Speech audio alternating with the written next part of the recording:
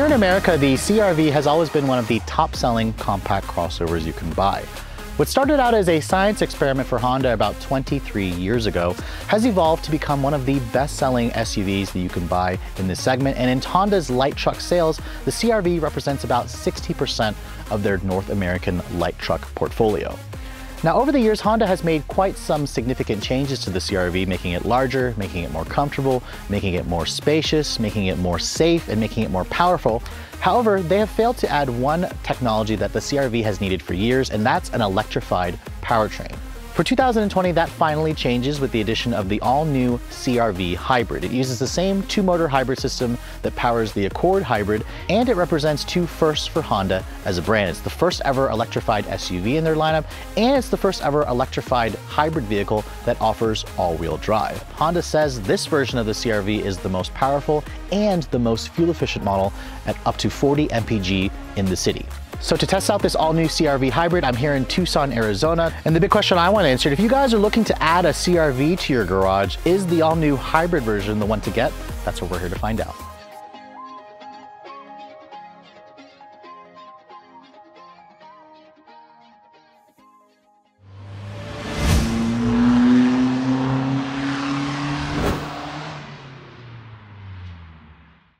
Waited a long time for a hybridized version of the CRV and I'm really glad that it's finally here. So I'm gonna first start with talking about what's powering the CRV hybrid. Now if you guys have driven the all new Accord hybrid, this powertrain will seem very familiar to you because it essentially is the same powertrain. It's gonna start with a two liter four cylinder gas engine. It's a naturally aspirated engine. It's got their VTEC technology. It runs on the Atkinson cycle. This engine on its own makes about 143 horsepower and 129 pound feet of torque. Now of course it's got a two motor hybrid system um, so it's gonna have an electric motor that adds about 181 horsepower and 232 pound-feet of torque. Now, of course, you can't just do the math, simple math, and add the two numbers together. Honda says that the combined output is 212 horsepower and 232 pound-feet of torque. That easily makes the CRV Hybrid the most powerful version of the CRV they've ever offered. It's probably the first, it's actually the first time that we've seen a CRV with over 200 horsepower. Now, another thing about this car, it's standard with the company's real-time four-wheel drive system, and it actually has a mechanical linkage between the engine and the actual drivetrain, unlike the RAV4 hybrid, which this competes with, which has a separate electric motor that, motor that powers the rear wheels. This vehicle actually will have full-time all-wheel drive, even if the batteries are dead. Now, the transmission of this car is a very complicated matter, and to help me explain what the transmission on this car is, I'm bringing over Alex Dykes from Alex on Autos. Alex, can you please explain to me what the transmission is in this car? Because I've seen conflicting reports of it yeah. being a CVT and a direct drive transmission. So in the truest sense of the word, this doesn't have a transmission, and that's kind of where it gets a little tricky. So so we have the gasoline engine, two liter gasoline engine. It is directly connected to a generator unit. The mm. generator unit can start the engine or it can generate power. Okay. And then it will send the power over to the 181 horsepower electric motor. So below 45 miles an hour, the only thing that can ever drive you down the road is the 181 horsepower electric motor. Okay. That gives you the 232 pound feet of torque. And it pulls its power from the battery in the back and from the generator that's attached to the engine. But what makes this a little interesting is that over about 45 miles an hour or so, it can connect a clutch between the engine and that final electric motor, and it can drive the vehicle using just the gasoline engine via a fixed ratio. So that's why some people say fixed ratio and some people say CVT. No CVT, no belt and pulley thing under the hood. Uh, when they say CVT, they're talking about the fact that the engine can be spinning at whatever RPM you want, mm-hmm. generating power, sending it to the other electric motor. Now, the weird thing about it is that there's just that one fixed ratio between the engine and, and wheels. So you can think of that sort of like a fifth gear on an automatic transmission. Okay. So as you go faster, the engine's going to have to be spinning, you know, faster to do that. So it's going to be a little less efficient highway speeds than the Toyota system. That's why we see three miles per gallon on the highway, as I recall, okay. below the RAV4. So basically what you're saying is the transmission functions as both kind of like a CVT, but not in the traditional sense, but right. also like a direct drive transmission, yeah. depending on whether it's running on electricity or the gas exactly. engine. So this is one of the few true serial hybrids out on the market. So, uh, you know, engine generating power, generator connected to it, generating electricity, that's sending over to the electric motor that's actually driving the vehicle forward. Okay, well, it all sounds like very complicated stuff, but you're probably wondering what's the actual fuel economy of this new CRV hybrid? Well, it's rated at 40 in the city and 35 on the highway, which are very good numbers. It's about a 9 mpg improvement over the gas-only CRV. Yep. So very good numbers. However, it is about 2 to 3 down versus the RAV4 hybrid, and I suspect it has to do with the fact that the all-wheel drive system in this car is mechanical. It's probably yep. adding in some drag, but 38 mpg is definitely nothing to sneeze at. This car is roughly about 200 pounds heavier than the gas CRV at around 3,700 pounds. This version is also not rated to tow. So in the gas model, you can tow about 1,500 pounds. This one does not tow anything. So if you want to actually tow, be sure to get the gas only version. So now that we've gotten the complicated powertrain specs out of the way, let's talk about the design of the CRV hybrid in relation to the gas only version. Now, obviously, you guys should be pretty familiar with this fifth generation CRV. It's been on the market since 2017. And for 2019, Honda gave the CRV some pretty significant updates. Uh, the hybrid version, again, gets some smaller updates to kind of differentiate it from the gas model.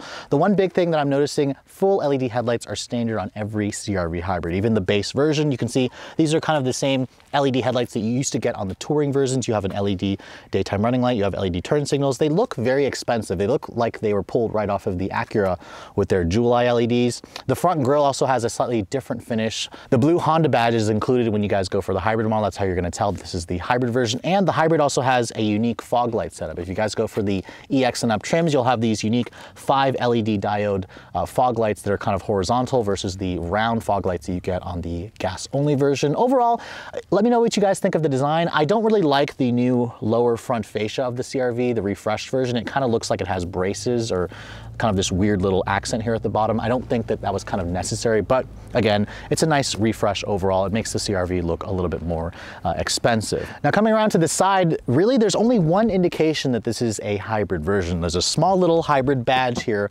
on the fender, but everywhere else you can see this looks identical to the gas only CRV. Right down to the wheels, this touring trim comes with a 19 inch wheel. It's an inch bigger than what you're gonna get in the EX trims. They're wrapped in 235 with tires. Now these tires you should um, note that are about 10 millimeters wider than the same tires you get on a RAV4. That is going to, of course, give us a little bit better grip, but it's also going to lower the fuel economy slightly, which is why this car probably has a little bit lower fuel economy versus the RAV4. Honda says the ground clearance of this car is around 8.2 inches, which is pretty good. Actually, a little bit more than what I expected it to be, considering I doubt most owners are going to be taking this thing off-road.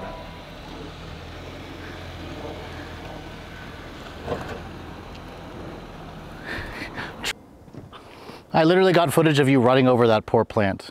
We're gonna have, we're gonna have greenies call. now the one interesting feature about the CRV hybrid is the fact that when you're driving this thing at low speeds on electric power alone, Honda has included or is producing an augmented noise. Now this noise is going to be required for a lot of electric cars to kind of let pedestrians know that you are driving around so you don't run over people. And when you basically turn the car on, I don't know if you guys are gonna be able to hear it, but just put the car into drive at low speeds, and when you put it in reverse,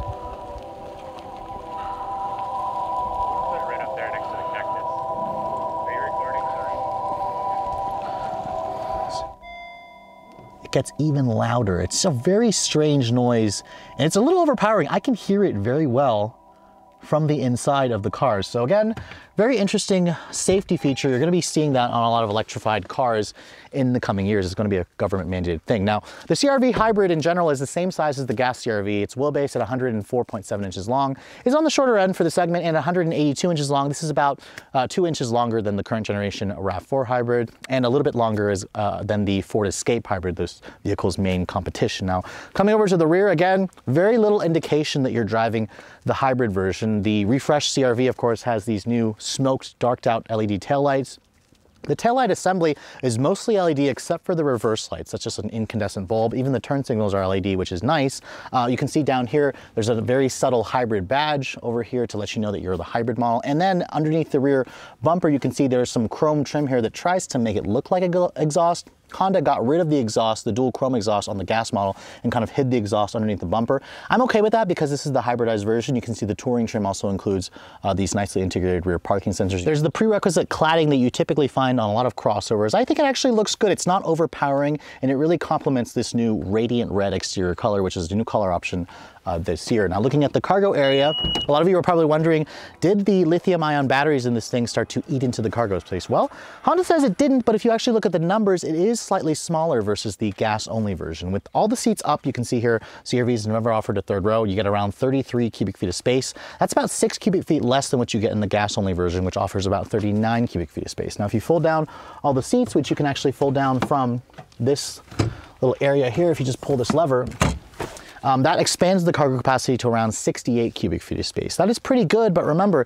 the gas-only version offers about 75 cubic feet of space. And then if you look underneath the floor here, there is no temporary spare tire, of course. The batteries are going to be living underneath here, uh, so you're gonna have to deal with a fix-a-flat kit. So the exterior of the CRV Hybrid doesn't look all that different from the gas-only version, but what about the interior? Well, getting inside the hybrid version, you can see shutting the door, it's, it sounds the same when you shut the door. It has that solid thunk. And then you can see here, here's the standard Honda key fob. The smart key access system is included on this touring version. I believe it's an option. Uh, you have to go for an EX trim and up to get it. It also includes remote start. Uh, you guys know how to start up a vehicle like this. Just keep the key fob in here let the vehicle start up. And because this is a hybrid, there's no traditional starter noise. Again, this is the first time that we're seeing a hybridized version of the CRV. So this is very new, especially for those of you who've had a CRV in the past. This is the first time we're getting something like this. Now, looking at the rest of this interior, you can see the CRV has had a very nice interior. It's very spacious. It's very comfortable. The seats are also uh, pretty uh, accommodating. They're very soft leather. They're also just heated three ways. Honda does, uh, does not offer uh, cooled seats like on some competitors. You do get two-person memory on the driver's side here. It's like a 12-way power adjustable seat, which is nice. The passenger here only gets uh, a four-way power passenger seat, so uh, keep that in mind if you guys want are looking for like an eight-way power seat. The rest of this interior, however, looks pretty similar. There's only a couple of changes here versus the gas-only version. Right here, you're gonna see there's a push button transmission selector for that very strange transmission that has characteristics of a CVT and a single speed reduction gear. You can see push that to go reverse. You can get a backup camera on this car, which is nice. It has the three different views. It has trajectory, it has rear cross traffic alert, but if you're looking for a top down 360 camera, Honda does not offer that. This is fairly easy to use. We've seen this push button transmission selector in other Hondas versus that gear lever you get in the regular CRV. Um, the instrument panel is also slightly unique to the hybrid version. You can see it's got these two new LED displays for the battery charge indicator and for the fuel gauge over here. So that's new. Uh, this display over here is also slightly tweaked. You still got kind of like a LCD display in the center. It's now an all digital display, which is nice versus before you had kind of like an analog look to the fuel gauge and the engine temp gauge in the regular petrol version. Now, the steering wheel you can see here, it also tilts and telescopes, which is nice. You also get a heated steering wheel when you guys go for the touring version. It offers a very, very good amount of adjustability. This car in general is just very comfortable. It's one of the reasons why it's such a top seller. The materials are pretty much the same. You have this faux stitching with the piano black plastic. This wood trim is not convincing anybody. It feels especially fake when you touch it. Uh, although it doesn't look terribly bad, it's just kind of like a little too much. I wish Honda had gone with like a carbon fiber look trim or an aluminum look trim instead. Um, the infotainment system in this car is the same 7-inch Honda Link infotainment system. Now, as you can see, it includes Android Auto and Apple CarPlay, which is nice, but come on, Honda, this screen is just very, very puny. It's very small, one of the smallest screens in the segment. They did add, uh, this was one of the first cars that also included a volume knob, although I wish it had a tuning knob. You have these touch sensitive buttons over here where you can go to your home display. As you can see, there's the older Honda Link system. It's very slow at times. It'll actually make my phone freeze sometimes when I'm using the CarPlay. So I'm very disappointed to see Honda has not updated this. Keep that in mind. Honda will probably do that for the next generation model, which the Accord has a much better system overall. You can see there's dual zone climate control over here. You have your three level heated seats, an electronic parking brake. There's your drive mode selector over here. There's a sport mode, there's an eco mode, and then there's a full EV mode, which this car will basically allow the engine to be shut off and drive on electric power alone up to freeway speeds. It kind of depends on the throttle application. You have to be very conservative with your output, uh, which we'll talk about that later on in the drive. They added a wireless phone charger to the refresh CRV last year, which is definitely nice. It even includes this kind of slip resistant area so your phone doesn't slide around. And then you have two cup holders over here. And then the center console here has also been kind of redesigned. You can see there's still a very large bin over here, but you can actually take this little thing out here, whereas in the past, it was a little bit more clumsy to use. You can see it kind of just folds down and then it slides forward to cover everything up if you'd like. So it's nice that they redesigned this to kind of give it a little bit more functionality. This armrest here also kind of will slide forward and back. It's a very padded area, uh, which is nice. And then above me here, you can see the CRV does not offer a panoramic sunroof, which would have been nice to have. You have to go for an Acura, of course, to get that feature. They also don't offer a heads-up display, so that's something to keep in mind if you guys are looking for those features. But overall, the hybrid's interior is very comfortable, very spacious, very easy to use. The sound system in this car is just a nine-speaker Honda premium sound system. It's nothing terribly fancy, so I recommend looking at the competitors if you're looking for something like a Harman Kardon or JBL or Bose uh, upgraded audio system. Now what makes the CRV such a popular vehicle with families is when you get into the second row of this vehicle, it is, quite frankly, one of the largest in the segment. Honda says you get around just under 40 inches of legroom back here, which is about two to three inches more than what you find in the Escape Hybrid and the RAV4 Hybrid. As you can see at five foot seven, this is a backseat that I wouldn't hesitate to be in on longer trips. There's plenty of legroom. There's a completely flat floor back here. There's plenty of foot space. Um, you have these two USB chargers over here, which is nice. You have two rear seat air vents, but no set of actual rear seat climate controls. Remember, it's a dual zone system, not a tri-zone system like in some of the luxury cars. Now, opening up this armrest here, you can see there are two cup holders over here, a nice padded armrest, and then the materials back here are kind of hard touch plastic. You have that faux stitching, but it's a hard touch plastic. Um, other than that, though, it looks fairly nice. You just have one map pocket over here, so uh, a lot more storage over here in the lower parts of the door pocket, which is nice. The seat back here also does recline ever so slightly um, to get help you get a little more comfortable. But if you're looking to slide the seat forward and back, something the new Ford Escape Hybrid offers, the CRV does not do that. So overall, if you're looking for a family vehicle, you got to put child seats back here or carry full-size adults. The CRV has one of the biggest back seats in the segment. So we're out here in Tucson, Arizona, which is about two hours south of Phoenix, and I'm super confused because it's raining today in the desert, and it typically doesn't rain here, but we are driving the new 2020 CRV Hybrid. It's the most powerful and fuel-efficient CRV Honda's ever made. So you guys are probably wondering, how does it drive when you floor it? Well,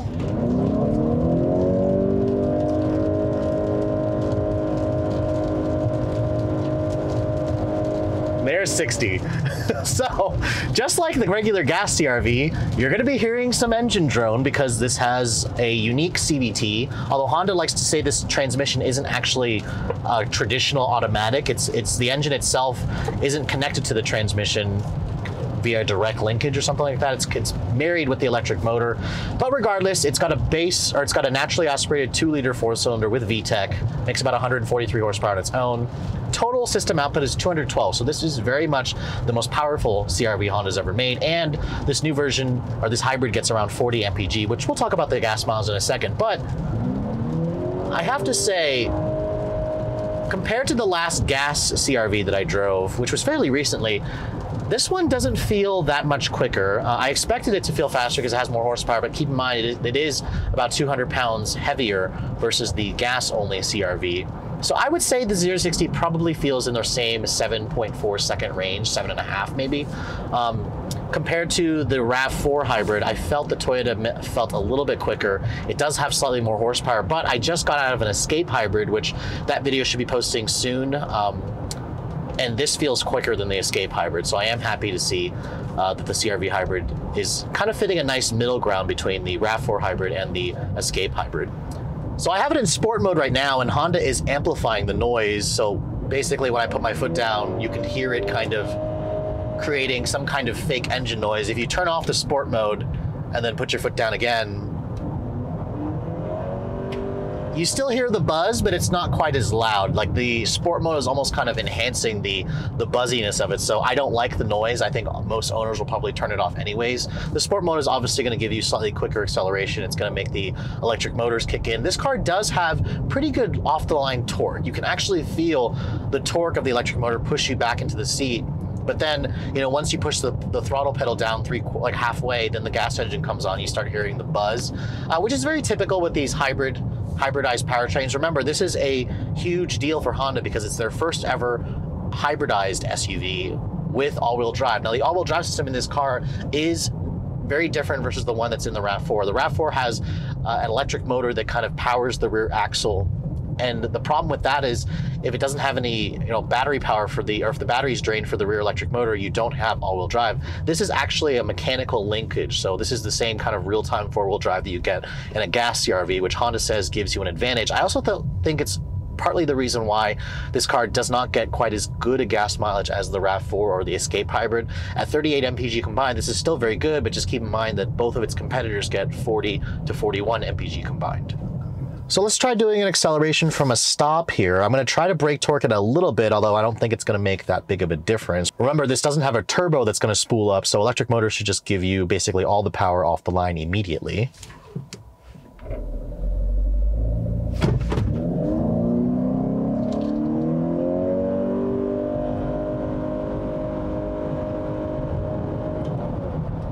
And no shifting as, as you guys heard from the CVT but it feels properly peppy. Um, I think a lot of owners who buy a CRV, they're going to probably like the way this drives. It's going to drive just like the gas model, although the engine does sound a little bit louder in this car. But if you're thinking the hybrid model is significantly faster than the gas-only model, it, it's not because the gas version of the CRV is already one of the quickest offerings in the segment. So you know, Honda obviously didn't need to make this thing that much faster because it's already pretty quick. Now, we're coming up on some twisty roads here in uh, Arizona, and the CRV has never been really the sportier option. I mean, it can hold its own. Remember, this is based off of the uh, new Honda Civic platform, the 10th gen Civic platform. So it essentially just feels like you're driving a taller uh, Civic, which is what the CRV's always been. Visibility is still very good. Um, the steering in this car has decent feel. Uh, it's not quite as uh, direct feeling as the Mazda CX-5, but it's way sportier than the last RAV4 and the last um, Rogue that I drove, or the last uh, Volkswagen Tiguan. The seats are also pretty comfortable. This interior in general is just very much identical to the gas model, aside from the unique gauges and the transmission, the push button transmission selector. I am noticing the road noise is a little high in this car. Now, I'm going to also say, go out and say that the roads here in this part of Arizona are not the smoothest, so I'm gonna have to wait and reserve judgment when I get one back at home. But I did have a gas only CRV a couple months back in DC, and I did notice the road noise was a little bit high. So this is not one of the quieter entries in the segment. CRV hasn't really ever been the, one of the quieter entries in the segment, but it is still one of the most comfortable in the segment. With this hybrid model, you get you know that improved fuel economy, very similar acceleration, comfortable seats. There's very little compromise in terms of the cargo space. The rear seat, Honda says, is the biggest in the segment um, at like around 40 inches of legroom back there, which is about two more than what you get in the RAV4. So really the CRV fits perfectly between a, a, RAV4 and an Escape hybrid, whereas this doesn't quite get the same gas mileage. Acceleration feels kind of between the two, but you do get the most space in the segment. And Honda has also priced the CRV hybrid pretty well. This one that I'm sitting in here is around $37,000 for the loaded Touring, which makes it a couple grand less than a comparably equipped loaded RAV4, although it is missing some equipment that you can get in the Toyota that Honda simply does not offer in the CRV. So just like the gas-only version of the CRV, the CRV Hybrid has a lot to like about it, especially if you guys are looking for an all-new family vehicle to add to your garage. It has a lot of features that I think are really going to do well with a lot of American families. It's extremely comfortable on the inside, it's extremely spacious, it's relatively quiet as well as in the, in the inside. It's full of all the latest tech and safety features, and the fuel economy has significantly been improved over the gas-only version of this car. In just my short driving here in Tucson, Arizona, I was able to get around 35 mpg. The highest I saw was 37 mpg, which is pretty damn good. It's very close to what the rate, EPA rates this car at 40 mpg in the city. The lowest I saw it was around 27 mpg. That's when I was really flogging the car on some twisty two-lane back roads. And really that improvement is going to make a lot of consumers happy when they're in the market for a CRV because if you spend most of your time out on the city in stop and go traffic, you're going to see a huge improvement in fuel economy over the gas-only version. Really where I see a disappointment in the CRV Hybrid is when you look at Honda's claim as this car being the most powerful version of the CRV. While on paper that might be the case, because this car adds about 200 pounds of weight, it also doesn't have the same kind of top-end feel that you have with the turbo engine. At full throttle, I found this car to feel slightly more sluggish versus the gas-only version of the CRV, but in stop-and-go traffic, off the line, you do notice this has significantly more power off the line, which is really what's better in the real world. So as where the gas-only version the CRV can feel a little bit sluggish at throttle tip-in because of the turbo lag in the CVT.